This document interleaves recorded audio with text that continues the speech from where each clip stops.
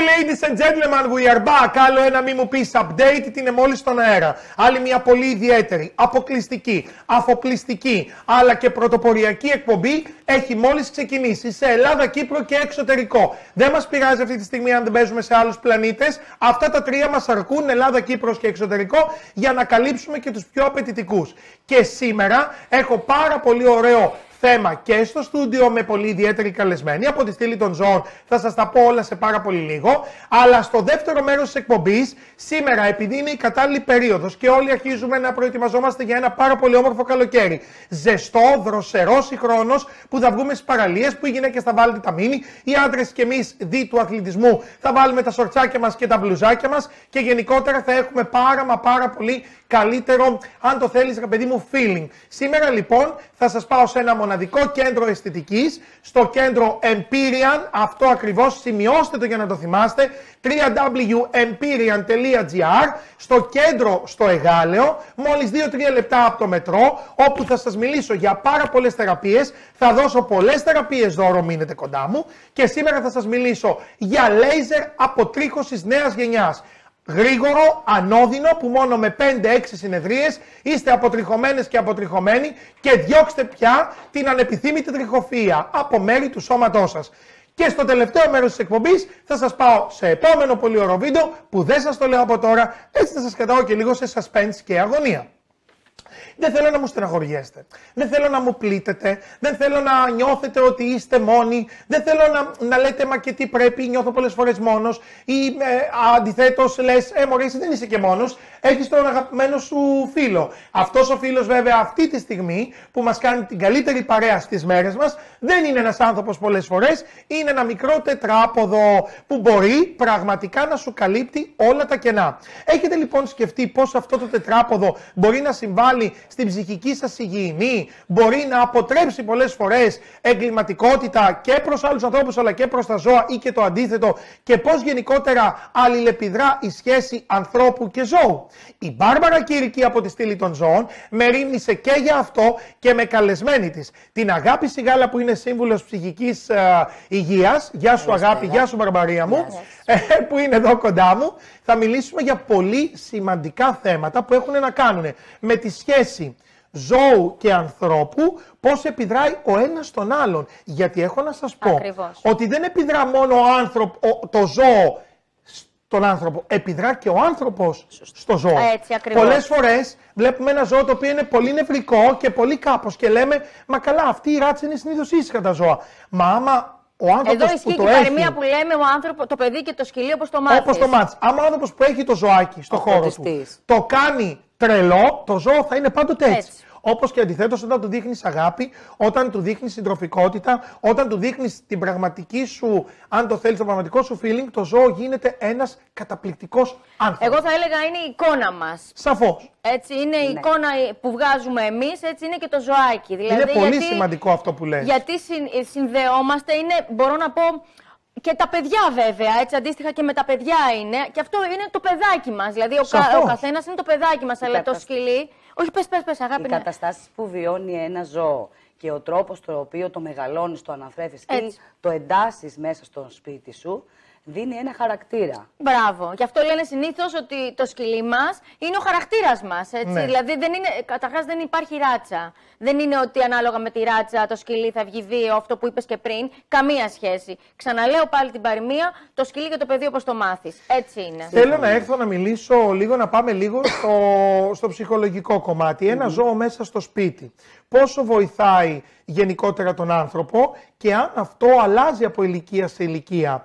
Έχω παρατηρήσει από τα χρόνια όλα αυτά και που είμαι λάτρης των ζώων ε, ότι ε, οι πολύ μικρές ηλικίε, αλλά και οι πολύ μεγάλες ηλικίε έχουν ανάγκη από ένα ζώο. Έχω δει ανθρώπους που αλήθεια δεν θέλανε τα ζώα ποτέ, μετά τα 50-60 να μην μπορούν χωρίς ζώο και να λέω Καλά βρε, εσύ έβλεπε ζώο και έλεγε Άπα πα στο σπίτι και αυτά και κοιμάσαι αγκαλιά και να μου λέει είναι η παρέα μου.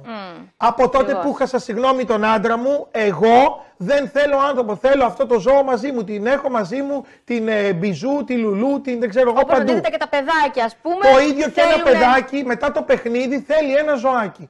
Βέβαια, εδώ τίθεται το θέμα ότι το ζώο δεν είναι μέχρι το Παιχνίδι. παιδί σας να μεγαλώσει και του παίρνουμε αντί ένα επιτραπέζιο, ένα ζώο να παίζει και μετά που πάει στο σχολείο που δεν έχει πάρα πολύ χρόνο, που, που, που, λες, άντε τώρα να το δώσουμε το ζώο και άντε γεια. Ναι.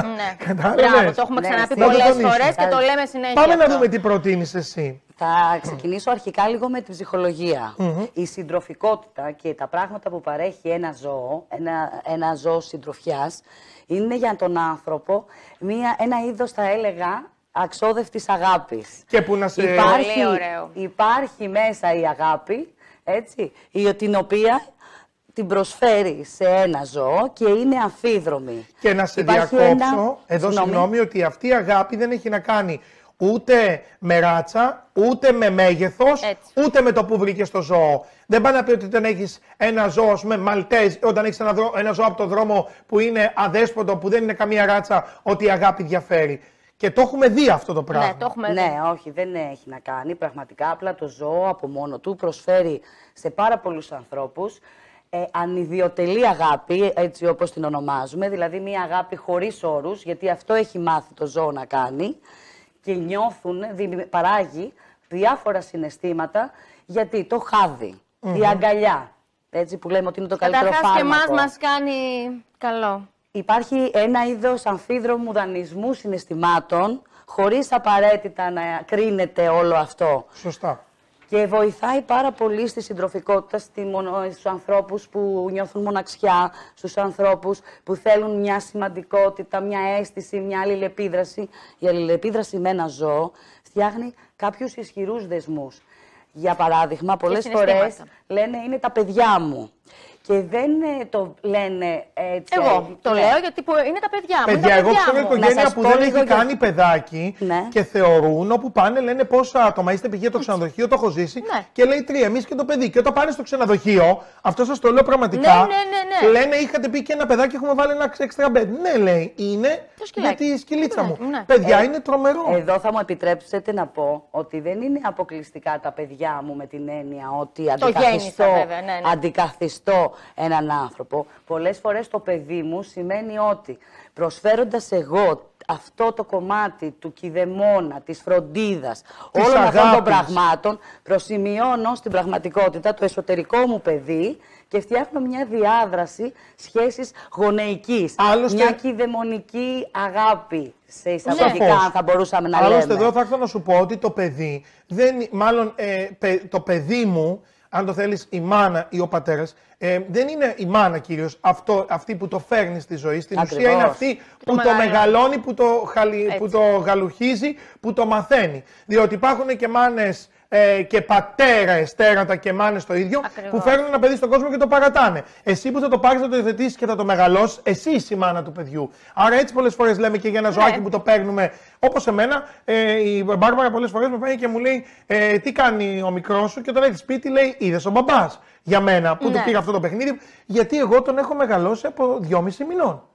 Άρα δεν είναι μια, γονε... ε, μια Μια σχέση, σχέση γονέα. γονε- γονέα παιδιού. Είδες; Σύμφωνη. Και γίνεται μια προσωμείωση. Ωστόσο, να πάμε και στο κομμάτι των παιδιων Δηλαδή, το κατοικίδιο και στα παιδιά βοηθάει πραγματικά στην ανάπτυξή τους. Ανεξάρτητα με την ηλικία που έχουν τα παιδιά, αυτές τις ευθύνες που παίρνει, είτε να του βάλει το νερό, είτε να το πάει βόλτα, είτε να το κάνει μπάνιο, νιώθει την ικανοποίηση της υπευθυνότητας, ορίζει κάποια πράγματα μέσα του που έχει ως καθήκοντα τον κάνει δη- δημιουργικό, του φτιάχνει την αυτοπεποίθηση, προσφέρει, είναι πολύ καλό το αίσθημα της προσφοράς. Σωστά. Επίσης, τον βοηθάει και συναισθηματικά. Γιατί; Ο, το παιδί χρειάζεται να αναπτύξει την ενσυναίσθηση, να καταλάβει πότε το ζώο είναι κουρασμένο και δεν πρέπει να το πειράξει. Πότε το ζώο α, φοβάται στον κτηνίατρο και βγάζει ένα συνέστημα. Την ώρα του φαγητού. Έτσι, με αυτόν τον τρόπο, δηλαδή, πέραν από την υπευθυνότητα και την αυτοεκτίμηση που ανεβάζει ένα παιδί, το βοηθάει να αποκτά και την συνέστηση και κατ' επέκταση με τον ίδιο τρόπο να συμπεριφέρεται και στους άλλους ανθρώπους. Να σέβεται τα συναισθήματα και την, ε, και την ε, φάση, αν μου επιτραπεί, που βρίσκεται ο κάθε άνθρωπος να το κατανοεί και να ρυθμίζει και το ίδιο τη συμπεριφορά του ως προς αυτά. Επίσης, βοηθάει και πάρα πολύ τα παιδιά με ειδικές ανάγκες. Ναι, Πάρα Αφόριστη πολύ. φίλη. Αυτό είναι Και ένα- είναι και οδηγοί πολλές Ναι, φορές ακριβώς. οδηγών τυφλών Που έχουμε ε, φέρει που πολλές- έχουμε φέρει. Γενικά Ακριβώς. τα ζώα έχουν μπει και σαν ένα θεραπευτικό για πολλά πράγματα μέσων. Καταρχάς, απλά και χωρίς κάποιος να έχει κάποια ασθένεια ή κάποια νόσο, θα σας πω ότι παρατηρείτε ότι άνθρωποι με ε, ζώα συντροφιάς έχουν χαμηλότερο δείκτες άγχους, έχουν χαμηλότερες ενδείξεις ε, κατάθλιψης ή μελαγχολικών συναισθημάτων, γιατί θα βγουν μια βόλτα, ή θα κοινωνικοποιηθούν γιατί θα συναντήσουν κάποιους άλλους με ζώα. Θα συζητήσουν. Η αγάπη καταρχάς και μόνο Αυτό αυτή που εισπράττεις, μπαίνεις στο σπίτι και σου έρχεται με χαρά. Ε, δηλαδή, ακόμη και μια Αυτά σκανταλιά που μπορεί να κάνει. Δηλαδή, ότι έχει ασχολήσει από το να είσαι σε ένα σπίτι και να είναι ένα νεκρό σπίτι. Δηλαδή, είναι Αυτά είναι και τα συναισθήματα Και παιδιά, όταν μπαίνεις και τρέχουν. Δηλαδή, η Μπάρμπαρα μου στέλνει κάτι βιντεάκι που ανοίγει την πόρτα της το πρωί ναι. και τρέχουν όλα από παντού με το πανίγι να βγει από την κρεβατοκάμαρα. Όλα τρέχουν. Πώς γίνεται ένα συλλαλητήριο; Α, η μαμά άνοιξε. Ναι, Αυτό το πράγμα για φαγητό δεν υπάρχει σαν πραγματικά εσωτερική που νιώθεις έτσι μια, ένα πέταγμα της ψυχής ότι καταλαβαίνουν τι κάνω, αλλά και εγώ καταλαβαίνω πόσο με αγαπάνε. Αυτό θα, θα μου επιτρέψετε να σας το πω λίγο μετά για τα συναισθηματα και να κλείσω λίγο το θέμα για τη θεραπευτικότητα. Σαφώς, σαφώς. Ε, βλέπετε και γνωρίζετε ότι σε πάρα πολλές κατηγορίες ανθρώπων που πάσχουν από κάποιες ασθένειες ή έχουν κάποιο πρόβλημα, τα ζώα έχουν μπει πολύ δραστικά μέσα στη ζωή τους. Από τα άλογα, έχετε δει και δελφίνια, ναι, ναι, έχετε ναι, δει και σκύλους, πέραν από το ότι οι σκύλοι εκπαιδεύονται και ως βοηθοί, που είναι μια σημαντική βοήθεια για έναν άνθρωπο το να κυκλοφορεί και να έχει όλο αυτό το πράγμα, λειτουργούν ψυχοθεραπευτικά γιατί υπάρχει αυτό το, το, το, το άϊλο που δεν μπορεί να προσδιοριστεί με λέξεις που δίνεται ανάμεσα σε ένα ζώο και σε έναν άνθρωπο, η ενέργεια, όλο αυτό. Ό,τι ασθένεια και να έχει ένας άνθρωπος, όταν έχει μια πολύ καλή ψυχολογία ή ενισχύεται η ψυχολογία του, είναι πάντα υπέρ του. Σαφώς. Συμφωνώ. Θέλω να σε ρωτήσω το εξής. Ε, είπαμε στην αρχή της εκπομπής μας ότι η εγκληματικότητα και η σχέση ζώων με τον άνθρωπο ε, παίζει πολύ πολύ μεγάλο ρόλο. Πάμε να αναλύσουμε τι θέλουμε να πούμε. Να πω εγώ που θέλω να πω πάνω σε αυτό. Πριν αναφερθήκαμε για τα παιδιά, ότι τα παιδιά ε, τους βοηθάει να... στην ανάπτυξή, στην ανάπτυξή τους. Τα παιδιά όμως, υπάρχουν κάποια παιδιά, ένα είδος παιδιών, που το μαθαίνουν οι γονείς από μικρά να τα χτυπάνε ή να ενθαρρύνουν καλύτερα, θα έλεγα, οι γονείς να χτυπάνε και να κακομεταχειρίζεται ένα ζώο. Πιστεύω ότι από εκεί πέρα ξεκινάει αυτό που είπε και ο Αλέξανδρος, η εγκληματικότητα των ζώων και γι' αυτό έχει αναπτυχθεί. δηλαδή, όχι και τόσο και στην Αθήνα και στην Αθήνα φυσικά, αλλά και στην επαρχία. Γενικότερα, όταν ένα παιδί όταν μάλλον ένα γονιός λέει ναι στο παιδί, χτύπα το ή πέτα του μια πέτρα ή οτιδήποτε. Δηλαδή, μετά το παιδί δεν αναπτύσσεται να κάνει και να φτάσει στο επίπεδο να κάνει ένα έγκλημα εις βάρος ενός ζώου ε, να ξεχωρίσω ένα πράγμα. Γενικά η συμπεριφορά και η βία η συμπεριφορά προς τα ζώα μας δείχνει ένα είδος διαταραχής. Χρειάζεται βέβαια να ξεκαθαρίσω ότι δεν είναι απαραίτητα ότι κάποιος θα γίνει δολοφόνος ή θα σκοτώνει. Όχι, αλλά το έχουν δείξει πάρα πολλές έρευνες αυτό. Υπάρχουν δείγματα, αλλά δεν έχει επιστημονικά πιστοποιηθεί. Αυτό όμως που μπορώ να πω ότι η συμπεριφορά αρχικά που έχουμε στα ζώα δείχνει ένα κομμάτι της προσωπικότητάς μας και της ψυχοσύνθεσής μας ως άνθρωποι, ως ιδιοσυγκρασία. Mm-hmm. Φτάνοντας στα παιδιά, θα σας πω ότι όσες φορές έχουμε ρωτήσει παιδιά γιατί βασάνεσαι στο ζώο, γιατί το πειράζεις, παίρνουμε τρεις απαντήσεις. Η μία είναι γιατί με πλησίασε, φοβήθηκα ή οτιδήποτε. Η άλλη είναι ε, για πλάκα. Για Πολύ πιο συχνό αυτή είναι η απάντηση. Η άλλη είναι και γιατί, πιο τραγική απάντηση. Γιατί ναι, δεν ναι, ναι. ξέρω. Γιατί δεν, δεν ξέρω, έτσι το έκανα. Έχετε δίκιο, όντως. Το να πούμε ότι η πρώτη απάντηση ήταν ως προς την άμυνα του παιδιού, που πάντα πρέπει να φταίει το ζώο, ανεξάρτητα αν παρερμηνεύσαμε. Οκ. Οι πιο τραγικές και οι πιο ε, περίπλοκες απαντήσεις είναι το για πλάκα και το γιατί έτσι. Με αυτόν τον τρόπο, αν κάποιος ε, γονέας ή τέλος πάντων κάποιος άνθρωπος, ένα παιδί ενώ ενοχλεί ένα ζώο, δεν παρεμβαίνει, δεν του δίνει την αίσθηση ότι πρέπει να αντιληφθεί την αξία της ζωής. Και είναι τραγικό αυτό. Συν της άλλης, φανταστείτε ότι αν δίνουμε ένα ελεύθερο το ότι το για πλάκα μπορείς να πειραματίζεσαι στο σωματικό πόνο ή να πειραματίζεσαι στην ενόχληση και στη δυσαρέσκεια που προκαλείς σε έναν άτομο, καταλαβαίνετε ότι αυτό αύριο μεθαύριο όντως κατ' επέκταση Θα πάει. και στις πιο ευάλωτες ομάδες, όταν μεγαλώσει π.χ. στα παιδιά ή σε ηλικιωμένου, ή θα βγάζει μια επι- επιθετικότητα γιατί θα το έχεις συνδέσει με ένα είδος ευχαρίστησης.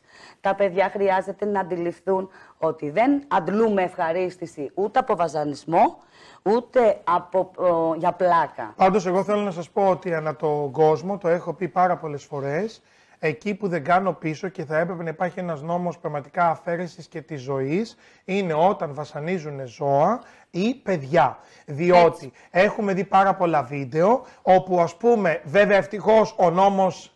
Έχει πάρει κάποιες- έχει κάποια μέτρα. πάρει θέση και πολύ σωστή σε κάποια και μπράβο. Έχουμε και τώρα έχουν βγει και που σου λέει ότι ακόμα και αν δεις ένα ζώο σε ένα μπαλκόνι ή σε μια στέγη ναι, ή σε ναι. ένα μάχη, πάνω από μία μέρα κλεισμένο μόνο του. Ή δεμένο. Ε, ε, ή Ή δεμένο, δεμένο. αμέσως στην αστυνομία. Μα- Ε, σ- θα, σου- θα, σου- θα σου ολοκληρώσω. Έτσι λοιπόν δεν μπορεί εγώ να θεωρήσω ότι είναι μαγιά που βλέπω κάποιους με μία σφεντόνα Τάκ, τάκ, τάκ, για μία γάτα να την πυρπολούν ή να είναι το έχουν κάνει, ένα σε δικό μου γατί ναι. αυτό. Λοιπόν, πραγματικά αυτά τα άτομα για μένα θέλουν κρέμασμα και με σφεντόνα. Και δεν νιώθω και τύψεις. δεν νιώθω καθόλου τύψεις. Συμφωνώ. Μα όταν μιλάμε ε, για κακοποίηση, δεν εννοούμε μόνο την κακοποίηση που μπορεί να γίνεται με τους τρόπους που ανέφερες. Η η κακοποίηση είναι και αν το δένω, αν το φυλακίζω, αν δεν το βγάζω βόλτα. Είναι ένα είδος κακοποίησης. Το πώς συμπεριφέρεσαι εσύ ο ίδιος σε ένα ζώο. Ε, Είναι μεγάλη ευθύνη να πάρεις ένα ζώο. Κακοποίηση μπορεί να είναι ότι το αφήνω και λείπω όλο το 24ωρο. Ότι το έχω σε ένα μπαλκόνι περιορισμένο. Ότι παίρνω ένα σκυλί το οποίο δεν μπορώ να υποστηρίξω τις ανάγκες του. Γιατί, παράδειγμα, αν δεν έχω εγώ χρόνο για βόλτα, δεν μπορώ να πάρω ένα σκυλί το οποίο θέλει να Και είναι η εκτονωθεί και γιατριά να του τρέχει σκυλιού η βόλτα. και να Βέβαια. κάνει. Κακοποίηση επίσης είναι αν δεν του παρέχω την ιατρική φροντίδα που πρέπει. Να μην πηγαίνει κτηνίατρο. Βέβαια, ακόμη και σε αυτά Έτσι. όμω, εγώ μπορώ να τα δικαιολογήσω σε κάποιους ανθρώπους, σε εισαγωγικά, ε, από το να είναι έξω στο δρόμο ε, και να ε, πε- πεθαίνει. Γιατί τα δέσποτα, το όριο, το μέσο όρο ζωής είναι περίπου δύο χρόνια. Και να το Σύμφωνα. πάρεις και να του παρέχεις ένα σπιτάκι, ένα φαγητάκι και να μην το βγάζεις πεσβόλτα, θα- μπορώ να το δικαιολογήσω. Δεν μπορώ να δικαιολογήσω τη βία. Αυτό δεν μπορώ να δικαιολογήσω. Και εν με πάση τίποτα. περιπτώσει Και μπορείς να το επίσης- αγνοήσεις το ζώο, αλλά μην το πειράζεις. Ναι, και επίσης Ακριβώς. εδώ να σημειώσω ότι και πολλοί άνθρωποι που δηλώνουν φιλόζωοι, έτσι, είναι σαν να αγαπάνε μόνο το δικό τους ζώο. Βγάζω δηλαδή το σκύλο μου βόλτα και άμα δω κάποιο άλλο που το Ναι. πλησιάζει, πριν αντιληφθώ, μπορεί Ή του πετάνε μπράβο, Ναι. ναι, ναι, ναι. να ή του κάνω πε- κάτι. Άρα ναι. να Εγώ σας εξετάσουμε και το πληροφορώ. φιλόζωη και εμάς τους ίδιους όταν λέμε φιλόζωοι ότι Τι είμαστε. είναι; Γιατί αυτό το ζώο βρέθηκε στο δρόμο από κάποιον άλλον σαν εμάς Έτσι. που δεν κράτησε την υπόσχεση ή την ευθύνη του. Εγώ σας πληροφορώ όταν είμαι με τον Κούκι, επειδή ο Κούκι δεν έχει μάθει με ζώα δυστυχώς να παίζει ούτε να αντιδράσει. μην του λες, σωστά. ε, φάτο, φάτο. Ε, γαυγίζει χωρίς να τα πειράζει. Γαυγίζει όμως νομίζει ότι θα με φάνε ή ότι εμένα θα με πειράξουν ή ότι θα πάρω εκείνα. Εγώ όταν βλέπω ζώα δέσποτα και έρχονται και είμαι με το λουρί να τον πάω βόλτα, δεν τα πειράζω καθόλου, δεν τους κάνω ούτε ξούτ. Παίρνω αμέσως τον Κούκι αγκαλιά και πάω πάλι στενό. Δηλαδή ενώ αφήνω τα αδέσποτα να ακολουθήσουν αυτή την πορεία που είχαν. Δεν τους την αλλάζω γιατί μπορεί να είναι φοβισμένα, μπορεί να κάνουν μια κίνηση στο δρόμο, μπορεί να πηγαίνουν προς το σπίτι τους και να τους το κόψω. Οπότε εγώ παίρνω τον κούκι που έχει την προστασία δική μου και πάω από ένα άλλο στενό ή μπαίνω από ένα άλλο κήπο. Αυτό νομίζω ότι πρέπει να κάνουν όλοι και όχι να πηγαίνουμε κόντρα ή να δείχνουμε τον κακό μας σε αυτό στα ζώα που ίσως δεν ξέρουν πού να πάνε. Η αλήθεια είναι ότι όπως έχουμε δει τα τελευταία χρόνια η Ελλάδα έχει ευαισθητοποιηθεί, έχει Πάρα μπει στην πολύ, κουλτούρα παιδιά, μας και στην χαίρομαι. παιδεία μας. Οι Και- νόμοι υπήρχαν πάρα πολλά χρόνια. Το 2003 ε, βγήκαν σαν νομοθεσίες, αλλά από το 2012 είναι εφαρμοστές. Ναι, ναι, ναι. Ε, Πολύ- Και πρόστιμα και τώρα έχουν αγριέψει και συνειδητοποιηθεί. μπράβο Ναι. σε αυτούς που βοηθάνε στο να αγριέψουν οι νόμοι για την κακοποίηση ζώων και ούτω καθεξής. Είναι ένα κομμάτι της παιδείας μας, γιατί ο άνθρωπος έχει μια τάση να νομίζει ότι είναι ο κυρίαρχος του πλανήτη. Είναι το υπέρτατο «ον». Και ε, σε ένα πλανήτη οτιδήποτε άλλο έχει ψυχή ή θα τον υπηρετεί ή θα τον ψυχαγωγεί. Χρειάζεται να βγούμε λίγο από αυτό. Ο Τα ζώα πολιτισμός- έχουν δικαιώματα. Ο πολιτισμός, πιστεύω, ενός κράτους φαίνεται από την αγάπη προς τα ζώα. Έτσι, είναι δικιά μου άποψη αυτή. Ε, καλά, όχι μόνο και δικιά Ναι. μου, βέβαια. Πολλών Σύμφωνοι. ανθρώπων. Είναι θέμα παιδείας γιατί τα ζώα έχουν υπόσταση, είναι έμψυχα. Όπως είπατε και πριν, δεν μπορούμε να τα αντιμετωπίζουμε σαν αντικείμενα. Τα ζώα δεν είναι ένα δώρο που προσφέρουμε σε απόλαυση κάποιου ή να ευχαρίστηση ζωή είναι. κάποιου.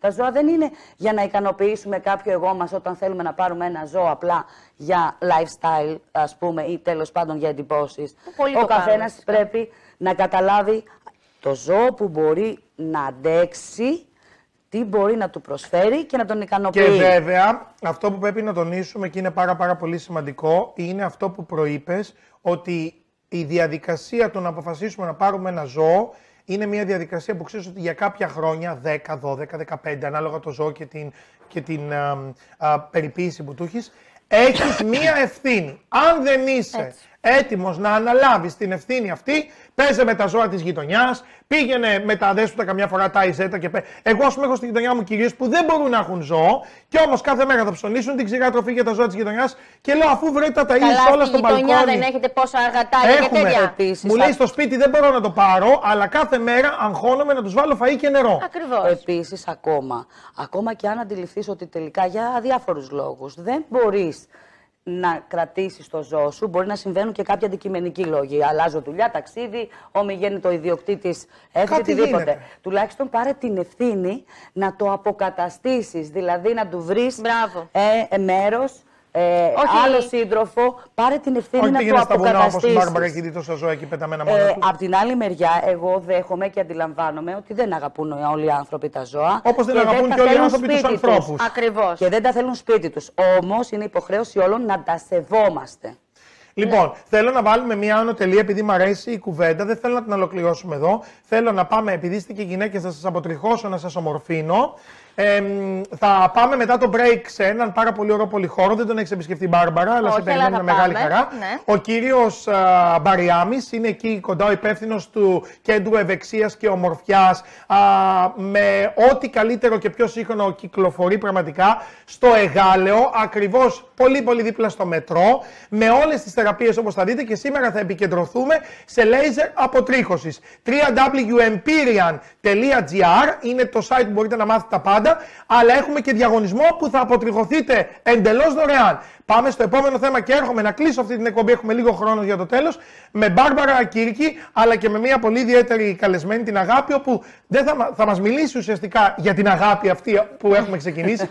και ίσως θα κλείσουμε με κάποιους κανόνες που πρέπει να μην ξεχνάμε ποτέ για εμάς και για τους τετράποδους φίλους μας. Πάμε παρακαλώ σε break και επιστρέφουμε με πολύ ωραίο θέμα.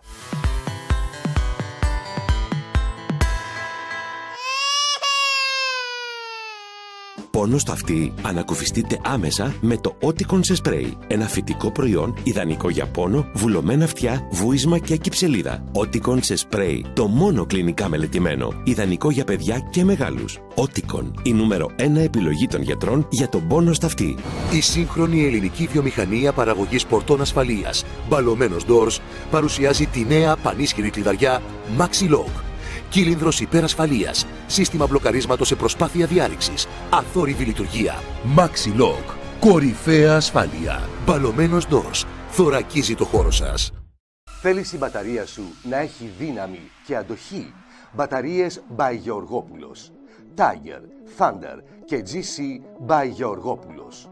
Μπαταρίες φωτοβολταϊκών, αυτοκινήτων, μηχανημάτων, σκαφών, μοτό, UPS, Start-Stop, Περιστέρι, Ήλιον, Χαϊδάρι. Τώρα και στην Αργυρούπολη. Τηλεφωνικό κέντρο 210 57 57 706 και για όλη την Ελλάδα www.gcbattery.gr με την εγγύηση by Γεωργόπουλος.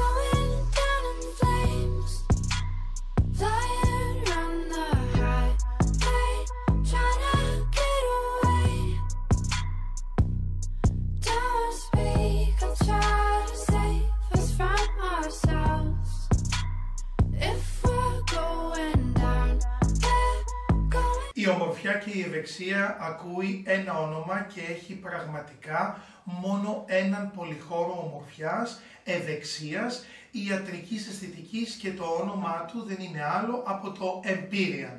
Εδώ ακριβώς βρίσκομαι για σήμερα για να σας ταξιδέψω σε πάρα πολύ όμορφες ε, και πολύ σύγχρονες υπηρεσίες για ομορφιά και ευεξία, ξεκινώντας ε, κάθε εβδομάδα να σας παρουσιάζω εκτενέστερα και μία από αυτές. Η εποχή η οποία διανύουμε είναι η καταλληλότερη εποχή για να μπούμε σε μια διαδικασία να, ανεω- να ανανεώσουμε το δέρμα μας, το πρόσωπό μας, το σώμα μας, α, την ανεπιθύμητη τριχοφυΐα να διώξουμε ή τα περιτά κιλά. Θα μου πεις Αλέξανδρε και όλα αυτά μπορούμε να τα έχουμε μόνο σε έναν χώρο; Βεβαίως, όταν αυτός ο χώρος λέγεται Empyrean και βρίσκεται στο κέντρο, εδώ ακριβώς στο Εγάλεο, πολύ γρήγορα, μόλις με 3-4 λεπτά περπάτημα από το μετρό, είναι πολύ σημαντικό γι' αυτό σας τονίζω, και συγκεκριμένα στην Ιερά Οδό 254.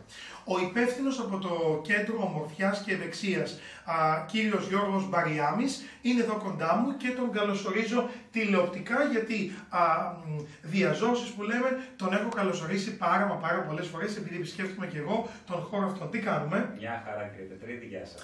Ε, είχαμε υποσχεθεί πριν από μία εβδομάδα, έτσι μιλούσαμε στο τηλέφωνο, ότι ένας τέτοιος πολύ όμορφος χώρος είναι κρίμα να μην φανεί και να μην βγει σε όλη την Ελλάδα και δει σε όλη την Αττική. Εφόσον με το μετρό μόλις δύο λεπτά περπάτημα από εσάς, νομίζω ότι αυτό βολεύει τους πάντες από όπου και αν μένουν. Μιλάμε για έναν πολυχώρο ομορφιάς, ευεξίας, ιατρικής αισθητικής. Πάμε να αναλύσουμε λοιπόν στον κόσμο και να καταλάβει τι εννοούμε ομορφιάς, ευεξίας, ιατρικής αισθητικής. Λοιπόν, ο χώρος, όπως πολύ σωστά είπατε, είναι ένας πολυχώρος ιατρικής αισθητικής. Περιλαμβάνει πολλά κομμάτια. Μερικά από αυτά είναι η αισθητική προσώπου και σώματος, αισθητική από ε, ενυδατώσεις, καθαρισμούς, ε, οξέα, αντιγύρανση. Άρα μιλάμε για πρόσωπο και για σώμα. Σαφώς. Ε, μιλάμε για ένα ισχυρότατο λέιζερ με τρία μήκη κύματος. Λέιζερ αποτρίχωσης από το οποίο έχω σκεφτεί και με βάση την ανάγκη των τηλεθεατών μου να ξεκινήσουμε και σήμερα σε πολύ λίγο και θα δούμε και α, συνεδρία εδώ ζωντανά έτσι ώστε να εξηγήσουμε τι ακριβώς και γιατί το προτείνουμε. Η τρίτη θεραπεία ή αν το θέλουμε τρίτη υπηρεσία. Βεβαίως. Ε, η τρίτη υπηρεσία είναι αδυνάτισμα, ό,τι έχει να κάνει με το αδυνάτισμα, δηλαδή από τοπικό πάχο, σύσφυξη, κυταρίτιδα. Μμμ. Η τέταρτη υπηρεσία είναι solarium, ένα solarium που είναι αγορασμένο τώρα 1,5 μήνα, έτσι είναι το Δεκέμβριο του 2018, με μηδενική ακτινοβολία. Και αυτό ε, να κάνω μια μικρή έτσι παρένθεση, γιατί είναι η εποχή που όλοι θέλουμε λίγο να μαυρίσουμε και να αρχίσουμε να μπαίνουμε λίγο με μια εσάνση καλοκαιριού σιγά σιγά. Ε, το ότι είναι νέας τεχνολογίας είναι το Α και το Ω, διότι αυτό σημαίνει ότι έχουμε τα πιο σίγουρα αποτελέσματα με τη λιγότερη ακτινοβολία για το δέρμα μας. Αυτό σημαίνει ότι ένα solarium το οποίο είναι φτιαγμένο με τα νέα σύγχρονα δεδομένα και υλικά μπορούμε να είμαστε πιο σίγουροι και εμείς για την υγεία μας επειδή ακούγονται διάφορα και βεβαίως σε έναν χώρο όταν υπογράφεται νέο τεχνολογικό, ε, ε, αν το θέλεις, κομμάτι, όπως είναι όλα τα μηχανήματα τα οποία έχετε, αυτό σημαίνει ότι είναι και μία εγγύηση των αποτελεσμάτων. Για το solarium αυτό που έχουμε να πούμε είναι ότι έχουμε το όρθιο solarium από ό,τι έχω δει και στα πλάνα που έχουμε δείξει και ζωντανά εδώ. Αυτό σημαίνει ότι είναι και πιο δραστικό, γιατί λένε πάντοτε ότι το όρθιο από το ξαπλωτό είναι πολύ πιο δραστικό και πιο αποτελεσματικό. Αυτό ισχύει, το solarium αυτό έχει 48 λάμπες, αλλά το σπουδαιότερο ποιο είναι; Ότι η Ευρωπαϊκή Ένωση έχει θεσπίσει κάποια όρια ακτινοβολίας, Μμμ. ε, που είναι 0,3 βατ το τετραγωνικό μέτρο. Αυτό το solarium, το solarium συγγνώμη, ε, πληρεί όλες αυτές τις προδιαγραφές. Και συνεχίζουμε, έχουμε άλλες δύο υπηρεσίες πολύ σημαντικές. Πολύ σωστά, έχουμε 11 είδη μασάζ Μμμ. και έχουμε και ονικοπλαστική, manicure pedicure δηλαδή. Το Που- οποίο, συγγνώμη που διακόπτω, το οποίο είναι και για άντρες και για γυναίκες. Αυτό ακριβώς θα έλεγα και εγώ, ότι τελικά έχουμε φτάσει στην εποχή, ευτυχώς, που και οι άντρες, αφού έχουν την παρότρινση των συζύγων των γυναικών τους, επιλέγουν το manicure pedicure, πραγματικά όπως επιλέγουν το να κουρέψουν το μαλλί τους ε, μία φορά το μήνα και ούτω καθεξής. Είναι πάρα πολύ σημαντικό ότι μέσα σε έναν τέτοιον χώρο που ε, το εξειδικευμένο προσωπικό σου αλλά και τα ε, πραγματικά τα πιο εξειδικευμένα από τεχνολογικής άποψης, από τεχνολογίας α, και από εγκρίσεων μηχανήματά σου ε, γίνονται και μια ε, πελάτησα, ε, ένας ενδιαφερόμενος πελάτης μπορεί να μην χάνει χρόνο και σε αυτόν τον πολυχώρο που σκεφτήκατε και πολύ σωστά και ορθά δημιουργήσατε, να μπορέσει να έρθει και μεταξύ, για παράδειγμα, του να εμ, τραβήξει η μάσκα, να μπορεί να κάνει λίγο τα χέρια της. Ή μετά από ένα μασάζ να μπορεί να κάνει ένα σολάριο και να φύγει. Ή μετά από μια θεραπεία δυνατίσματος ε, να μπορεί να περιποιηθεί και τα νύχια και να φύγει. Άρα λοιπόν αυτό νομίζω ότι το σκεφτήκατε για να γλιτώσει χρόνο, έτσι δεν είναι; Αυτή ήταν η ιδέα με το ξεκίνημα του Ethereum. Ο χρόνο είναι χρήμα. Όλοι ψάχνουμε να βρούμε χρόνο. Και όλοι θέλουμε γρήγορα σε έναν χώρο να τα κάνουμε και να φύγουμε. Εννοείται, σαφέστατα έτσι. είναι.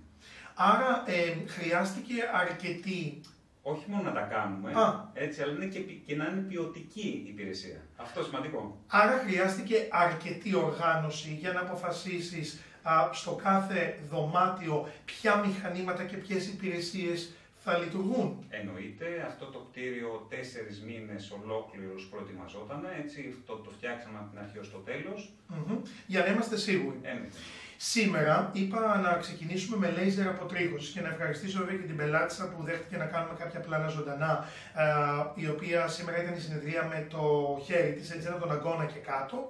Ε, θα ήθελα λίγο να μου πεις, ποιο λέιζερ αποτρίχωσης εσύ έχεις επιλέξει για το δικό σου χώρο, ο χώρος μας είναι Empyrean εδώ στο κέντρο στο Εγάλεο και για ποιο λόγο και ποια είναι τα συν και αν έχει κάποια πλήν με τις πατροπαράδοτες μεθόδους που ξέραμε αποτρίχωσης με λέιζερ; Ναι. Το λέιζερ που διαθέτουμε είναι με τρία μήκη κύματος. Παλιότερα τι συνέβαινε; Κάποιο κέντρο αισθητική ή κάποιος δερματολόγος αγόραζε ένα λέιζερ το οποίο θα έκπαιμπε στα 755 νανόμετρα. Το Αλεξανδρέτη, γνωρίζετε σίγουρα.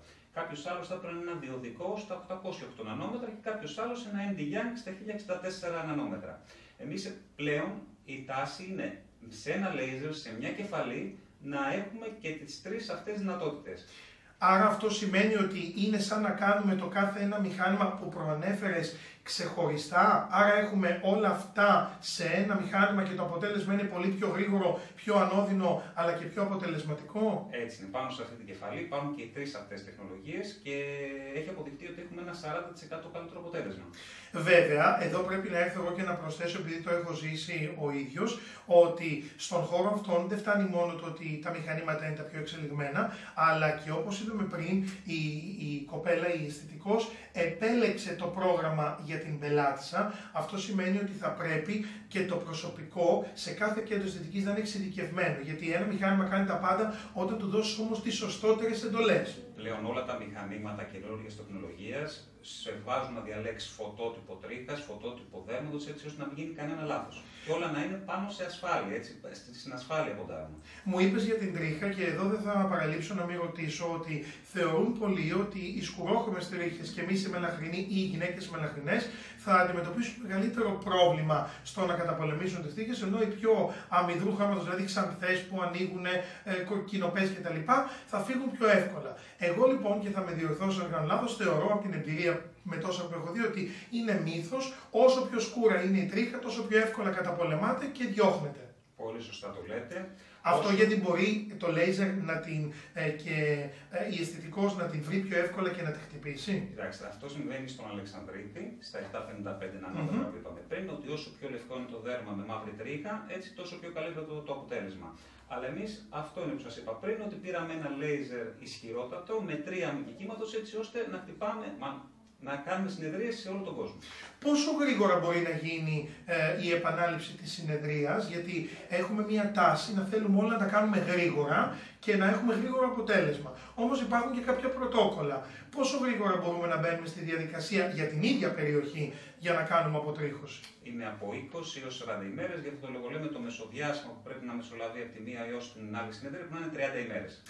Και βέβαια η τρίχα, ε, όπως παλαιότερα, ε, το πρόβλημα μας ήταν αν μεταξύ των συνεδριών δεν μπορούσαμε να ξυριστούμε, δεν μπορούσαμε να κάνουμε τίποτα. Ενώ τώρα, αν εγώ σήμερα κάνω αποτρίχωση και πρέπει να έρθω σε ένα μήνα, άρα οι τρίχες μου θα ξαναβγούν. Μπορώ να ξυριστώ μέχρι την επόμενη φορά; Βεβαίως και μπορείτε να ξεχειριστείτε. Αυτό το να μην ξυριστούμε ήταν στα παλιότερα λέιζερ. Με τη σύγχρονη τεχνολογία μπορούμε να κάνουμε το λέιζερ μας και από εκεί και πέρα να ξυριστούμε όποτε θέλουμε. Ε, θα πρέπει ε, όταν ερχόμαστε να έχουμε ξυριστεί κάποιες μέρες πριν, να τα έχουμε αφήσει μέχρι εκεί που φαίνονται για να γίνει καλό το αποτέλεσμα και για να μπορέσει και η υπάλληλος, η αισθητικός να τα βρει για να τα χτυπήσει. Επειδή θέλουμε πάντα να χτυπάμε θύλακα τρίχα και όχι το στέλεχος για να έχουμε πολύ καλό αποτέλεσμα, λέμε στον, α, στο φίλο ή στη φίλη να δύο μέρες πριν έρθει να ξυριστεί. Βέβαια, αν είναι στην πλάτη που δεν είναι βολικό να ξυριστεί, τον τριμάρουμε εμείς. Τελειώνουμε λοιπόν τις θεραπείες μας, κάνουμε 5, 6, 8 όσες θεραπείες χρειαστούν ε, και είμαστε σε μια πολύ καλή, ε, αν το θέλεις και ένα πολύ σωστό και επιθυμητό αποτέλεσμα. Αυτό πρέπει να ξαναγίνει κάποια στιγμή, δηλαδή μετά από ένα μισή χρόνο εγώ θα δω τρίχες ή δεν πρέπει να αφήσω να περάσει τόσο μεγάλο διάστημα. Συμβουλεύουμε τον κόσμο, αφού τελειώσει τις απαραίτητες συνεδρίες του, να κάνει μία φορά το εξάμεινο ή μία φορά το χρόνο. Έτσι, αυτό βέβαια το βλέπουμε και στην πορεία, έτσι δεν Έτσι, είναι. σαφώς. Δηλαδή, αν σου έρθει μια κυρία τρία εξάμεινα και δεις ότι πλέον δεν έχει κάτι και δεν βγάζεις, σταματάμε. Η τρίχα επανέρχεται κάποια στιγμή, ίσως μετά από καιρό. Όχι, η τρίχα δεν είναι αυτή που υπήρχε, έτσι. Ε, υπάρχει μια συντήρηση για να έχουμε το καλό αποτέλεσμα. Ε, ήθελα λίγο, επειδή οι τηλεθεατές, ε, οι δικοί μου είναι και λίγο εξειδικευμένοι, ε, να πούμε γιατί θα πρέπει να επιλέγουμε τις νέες μορφές λέιζερ αποτρίχωσης, είναι πιο σωστές και πιο κοντά για την υγεία μας, έχουν πιο γρήγορα αποτελέσματα, έχουν πιο σίγουρα αποτελέσματα ή είναι πιο ανώδυνες. Είναι όλα αυτά μαζί. Είναι όλα αυτά μαζί και ένα επιπλέον λόγος είναι ότι δεν έχουμε το παλιό αυτό, αν έχετε ακούσει, ότι καίγεται η επιδερμίδα. Έτσι, πλέον δεν υπάρχουν εγκάβματα, έτσι, είναι τελείως ασφαλής η μέθοδο. Και όταν επιλέγουμε να κάνουμε αποτρίχωση, γι' αυτό και ήθελα να ξεκινήσουμε με αυτό το θέμα, αλλά μου υπόσχεστε όμως τηλεοπτικά ότι ε, λίγαν συντόμω, όταν λίγαν συντόμω το δικό μου μπορεί να είναι και την άλλη εβδομάδα, μην νομίζετε θα περάσει πολύ καιρός, ότι θα επανέλθω στον ίδιο χώρο εδώ στο Empyrean, εδώ στο κέντρο στο Εγάλεο, για να μιλήσουμε και για το αδυνάτισμα. Γιατί εκεί έχουμε να πούμε πολύ σημαντικούς τρόπους και πρωτόκολλα αδυνατίσματο. Και εν συνεχεία για όλες τις υπηρεσίες. Αυτό που θέλω να πω είναι όμως ότι μία λοιπόν πελάτησα που επιλέγει και έρχεται από την αρχή μπορούμε να προκαθορίσουμε το χρονικό περιθώριο και τις συνεδρίες που θα χρειαστούν. Περίπου ξέρουμε κατά μέσο όρο πόσες συνεδρίες χρειάζονται για να έχουμε ένα ωραίο αποτέλεσμα. Ο μέσος όρος είναι 6 και για πιο σέλι θα έλεγα 8 συνεδρίες. Βέβαια, εκεί πέρα που έχουμε κάποια ορμονολογικά προβλήματα, κάποιες πολυκυστικές, κάποιοι θηροειδή, εκεί τα πράγματα λίγο δυσκολεύουν, αλλά δεν ξεπερνάμε κατά πολύ αυτόν τον αριθμό. Άρα και γι' αυτό η περίοδος μετά τα Χριστούγεννα ε, ενδείκνυται για τέτοιες ε, υπηρεσίες για να είμαστε έτοιμοι για το Μάιο, τον Ιούνιο. Και επίσης δεν πρέπει, λέει, ε, να είμαστε πολύ μαυρισμένοι όταν κάνουμε ε, αποτρίχωση ή να έχουμε μόλις κάνει σολάριο. Ναι, αυτό είναι αλήθεια. Ότι, κοιτάξτε, παλιότερα ε, κάποια κέντρα αστικής που είχαν το Andy Young, Μμμ. έτσι, σου λέγανε, μάλλον και σήμερα, σου λέγανε μπορείς να κάνεις ελεύθερα αποτρίχωση. Α, και εμείς το μηχάνημα που έχουμε έχει Andy Young, αλλά δεν προτρέπουμε τον κόσμο να το κάνει τον Αύγουστο. Σαφώς. Όσο πιο πολύ προστατεύουμε κι εμείς την υποδομή και το δέρμα μας, τόσο πιο καλά είναι και τα αποτελέσματα. Δεν θα φύγω όμως γιατί οι τηλεθεατές μου έχουν συνηθίσει τις προσφορές.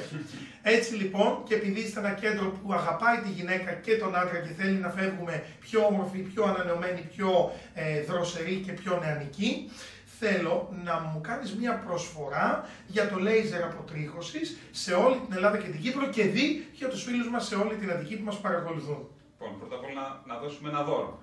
Βεβαίως. Έτσι. Άρα στους 10 πρώτους, Που θα επικοινωνήσουν στο 210 59-003-50, τι θα έχουν; Λοιπόν, για τους 10 πρώτους άντρες ή γυναίκες θα επιλέξουν μία περιοχή τους σώματό τους. Παραδείγματος χάρη, full bikini ή full πόδια ή full face, οι γυναίκες, θα είναι δωρεάν οι συνεδρίες ώσπου να καθαρίσουν.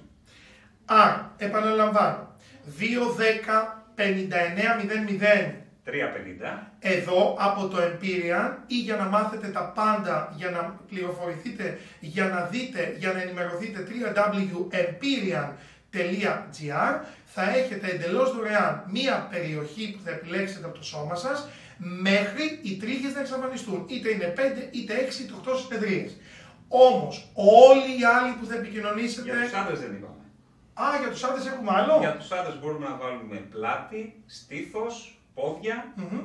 Το πιο σημαντικό. Άρα για τους άντρες ισχύει πάλι το ίδιο. Αλλά όλοι εσείς που δεν θα είστε 11η, που ξεκινάτε αμέσως τώρα, δεν σημαίνει ότι δεν θα έχετε δώρο. Για όλους εσάς λοιπόν, ο κύριος Μπαριάμις θα κάνει ακόμα μία προσφορά από την εκπομπή μου πεις, που θα είναι πια. Λοιπόν, 30% έκπτωση Σε σε, οποιαδήποτε- πακέτα, σε πακέτα που θα κλειστούν μέσω της εκπομπής σας. Θέλω να ευχηθώ να συνεχίσετε να δίνετε τον καλύτερο σε αυτό και εσείς και το εξειδικευμένο προσωπικό σου, ε, γιατί πραγματικά αυτό είναι το Α και το Ω και μου το είπαν φίλες που πριν κάνουμε το τηλεοπτικό ήδη σε έχουν επισκεφθεί.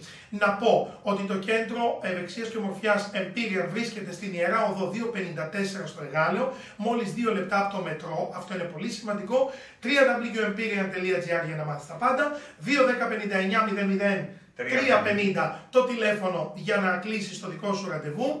Εγώ τα είπα, τα δοκίμασα, τα πρότεινα, τώρα από αύριο σας θέλω αλλαγμένες.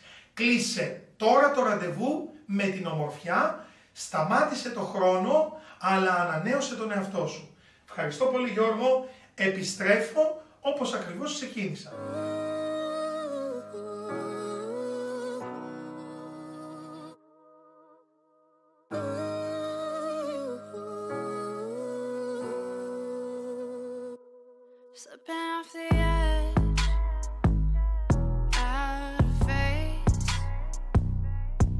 You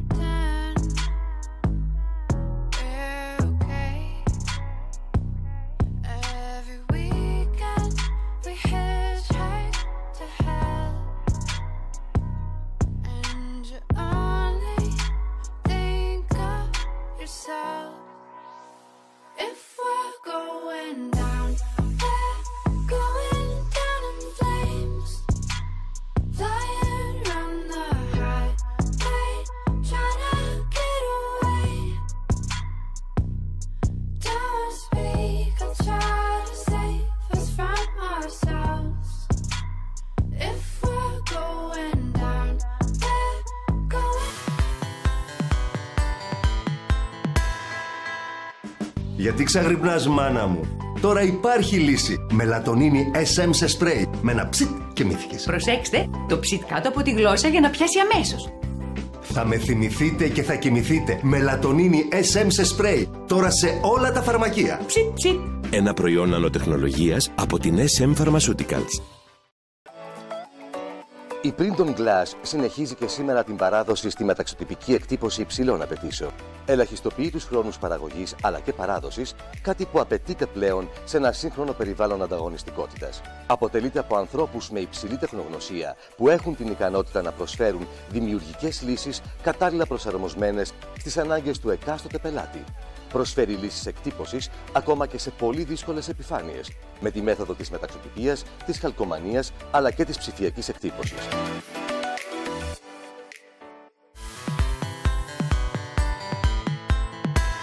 Μη μου πεις update, τελευταίο μέρος αυτής της εκπομπής μετά από ένα πάρα πολύ όμορφο βίντεο ομορφιάς και ένα πολύ ωραίο θέμα. Και λίγαν συντόμως θα ξαναβρεθούμε εκεί για να σας δείξω και τρόπους αδυνατίσματος, τοπικό λίπος, τοπικό πάχος. Όλα φεύγουν αρκεί να έχουμε τους κατάλληλους και το κατάλληλο μέρος που θα επισκεφτούμε. Αγάπη Σιγάλα εδώ παραμένει στην παρέα μας, σύμβουλος ψυχικής υγείας. Σήμερα κάνουμε ένα πολύ ωραίο θέμα για την ε, ψυχική έτσι, επαφή που μας δίνουν και δίνουμε στα ζώα μας λόγω της Μπάρμπαρας Κύρικη που είναι η στήλη των ζώων. Άμα να μας στενάξει όμως να κάνουμε και ένα ψυχο, ε, θέμα Αμέ, ναι, ψυχολογικό ναι, ναι, μόνο για τους ανθρώπους. Οπότε Ε, θέλετε. είχαμε μείνει και θέλω, επειδή έχουμε λίγο χρόνο και να το συζητήσουμε, στο ότι πώς, ε, ε, αν μοιάζει η, α, η ψυχολογία και τα συναισθήματα των ανθρώπων με ένα ζώο. Η αλήθεια είναι ότι θα επιθυμούσαμε πάρα πολύ να έχουμε συναισθήματα ζώων. Γιατί ένα ζώο, Πολύ ωραίο και θα αυτό. πω ένα παράδειγμα για τους σκύλους, δεν ε, σε αποδέχεται ακριβώς για αυτό που είσαι. Δεν τον νοιάζει αν είσαι ψηλός, κοντός, χοντρός, Πλούσιος, ναι, πλούσιος, ναι, ναι. έξυπνος ή Όμορφος, οτιδήποτε. άσχημος, ναι. Σε αποδέχεται για αυτό που είσαι.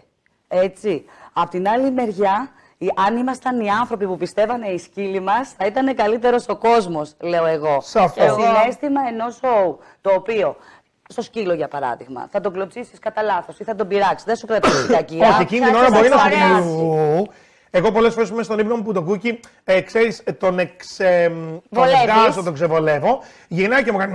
Όχι για να με δαγκώσει Όχι, και καλά. ναι. Σε δευτερόλεπτα έχει έρθει πάλι και με έχει παραγγελιά. Δηλαδή θέλω να σου πω ότι ο σκύλος ποτέ δεν θα σε πειράξει.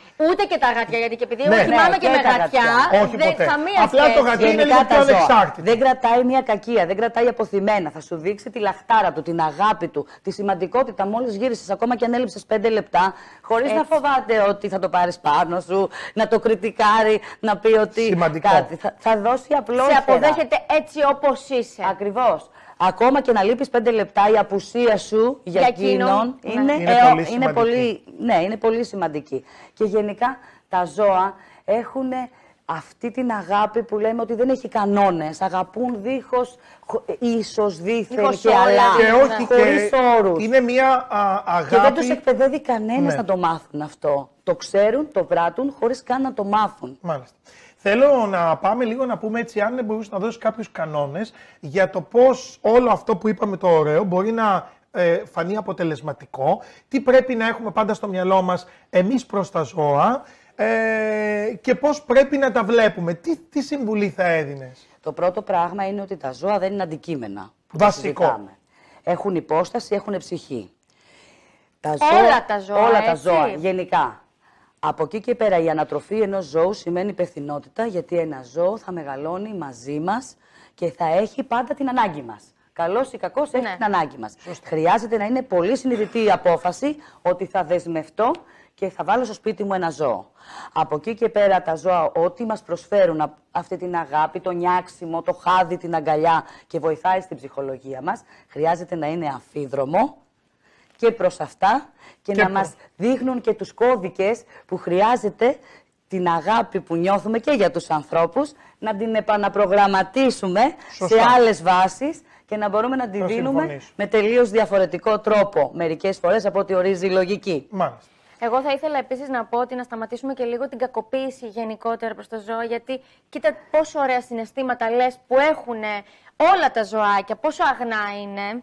Ε, και εμείς πόσο κακοί είμαστε. Το λέω Κάποιες έτσι, φορές. Τις περισσότερες φορές. Εντάξει, Όχι υπάρχουν εμείς και που άνθρωποι αγαπάμε. Είπαμε πριν ότι έχουν κάποια ψυχολογικά ή γενικά έχουν κάποια Και να κόμπλεξ σε ρωτήσω και ή κάτι βγάζουν, τώρα. Υπάρχουν και ζώα με ψυχολογικά; Ε, τους τα δημιουργούν οι άνθρωποι. Α, δεν υπάρχουν δηλαδή που λες ότι αυτό από την πρώτη μέρα που το πήγα Τους είναι τα δημιουργούμε. λαλημένο. Ό,τι γεννιέται δεν είναι κακό. Οι φροντιστές και οι άνθρωποι Το οι ίδιο οποίοι και το, εμείς. ανατρέ, το αναθρέφουν και οι καταστάσεις που περνάει έτσι, γιατί μπορεί να μην κάνεις κάτι στο ζώο, αλλά να είναι μέσα σε ένα χώρο, ο οποίος ο ίδιος ο χώρος του βγάζει επιθετικότητα, φόβο, Αυτό που τρόμο λέγαμε και στην ή αρχή, ότι οτιδήποτε. πώς, ε, αν ο χώρος είναι απειλητικός, αν. Όπως ας παιδιά πούμε, και ένα μωρό το οποίο είναι μέσα στην κοιλιά και δεν έχει βγει ακόμα στο περιβάλλον. Ακριβώς. Όλα αυτά που Ο γίνονται, χρόνος οι της φασαρίες, κλήσης, η έντονη μουσική, τα πολλά μπαμπούμ, τα, πο- τα πολλά βρυσίδια. Αυτό βγάζει ένα παιδί που Η ένταση, είναι. άμα έχει άγχος, στρες, Ναι. η μάνα. Ναι, ναι, ναι. τα Παίζουν πολύ συναισθήματα μεγάλο ρόλο. μεταδίδονται. και- Σαφώς. μεταδίδονται.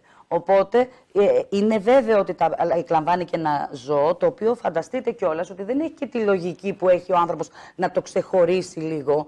Δουλεύει με τα ένστικτα. Βγαίνουν τα ένστικτα. Ο άνθρωπος μπορεί να πει αυτή τη στιγμή ότι ας μην μαλώσω, ας μην φωνάξω. Ενώ έχει τη το λογική. ζώο- Ενώ το ζώο θα εκφραστεί. Θα εκφραστεί Και βέβαια, ελεύθερα. επειδή μιλάμε συνέχεια για ένα σκύλο και μια γάτα, να σας πω ότι η αγάπη για τα ζώα κτλ. δεν είναι μόνο στο σκύλο και στη γάτα. Όχι, όχι. Μπορεί για μένα να είναι όπως είπαμε στα Όχι. το άλογο. Είναι Μπορεί τα να είναι σύλλα. μια κατσίκα. Από το καναρίνι, από Σαφώς, το καναρίνι από που το έχει καναρίνι. κάποιος, το κουνέλι. Εγώ έχω δει παιδί μου να πηγαίνουν στην Ευρώπη με το κλουβί μαζί, με το καναρινάκι του. Δεν το άφηνε με τίποτα. Που ξέρεις ότι και το καναρίνι είναι εύκολο γιατί λίγο τροφή να του βάλεις, δεν Ναι, θέλει ναι, κάτι ναι. άλλο όπω ο σκύλος θέλει τη βόλτα του. Και όμως σου λέει: Εγώ δεν θέλω το καναρίνι μου, δεν μπορεί μακριά μου, το θέλω μαζί μου. Και ούτω καθεξής. Αγαπάτε τα ζώα. Μπράβο, αυτό. Προσπαθήστε μέσα από αυτή την αγάπη να βρείτε και κομμάτια του εαυτού σας, να νιώσετε και πόσο μπορείτε να προσφέρετε Και να γίνουμε στους καλύτεροι. άλλους. Μέσα από τα ζώα, έτσι θα κλείσουμε, γινόμαστε καλύτεροι άνθρωποι, γιατί βλέπουμε την α, αγάπη που δεν έχει τι σου δίνω, τι μου δίνεις. Και να σας πω και κάτι. Θα διαπιστώσετε πόσα πράγματα στην καθημερινότητά σας θα ηρεμήσετε, πόσα πράγματα θα δείτε με διαφορετικό μάτι όταν αφιερωθείτε σε ένα ζωάκι και νιώσετε ότι μεγαλώνετε μαζί του και θα λέτε ότι πω πω πω, πω τι θα κάνω αν μου φύγει.